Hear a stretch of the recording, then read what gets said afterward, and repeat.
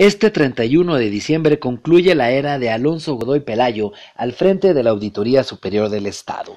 Godoy, exdirector de Asuntos Jurídicos del Congreso local y exmagistrado electoral, fue electo en 2004 como el primer auditor en la historia de Jalisco para un primer periodo de cuatro años. Antes, una reforma legal desapareció a la Contaduría Mayor de Hacienda para dar paso a la nueva institución. En 2009 volvió a contender junto a otros 14 aspirantes y los diputados locales lo consolidaron en el puesto por siete años más. Yes.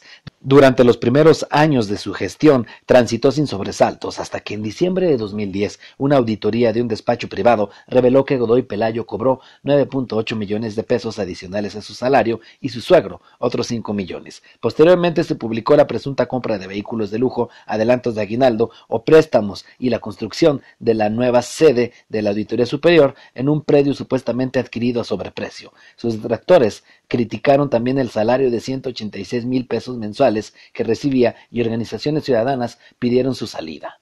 El 27 de noviembre de 2013, Godoy Pelayo envió una carta y dos legajos de documentos al Congreso del Estado para detallar que su actuar tenía fundamento jurídico. Además, la Suprema Corte de Justicia de la Nación le dio la razón y lo afianzó en el cargo al resolver un amparo en su contra. El Congreso local tampoco intentó destituirlo. Entre los logros que Alonso Godoy Pelayo ha dado a conocer está el nuevo edificio de la Auditoría Superior que se construyó con ahorros de la institución y el cual quedó como patrimonio del Estado. Además, a diferencia de otras dependencias, los empleados de la auditoría gozan de todas las prestaciones e incentivos. La institución también cuenta con nueve certificaciones de excelencia, incluyendo la acreditación a Place to Work y el distintivo de empresa incluyente Gilberto Rincón Gallardo, además de otra distinción más por promover la equidad de género en su ambiente laboral. Además, Godoy Pelayo dejó listo el nuevo sistema informático estatal de auditoría y las finanzas de la institución son sanas y sin deuda alguna, según ha declarado. El auditor, Alonso Godoy, no se anotó para contender de nuevo por el cargo. Ahora, luego de que los diputados locales no se pusieron de acuerdo para nombrar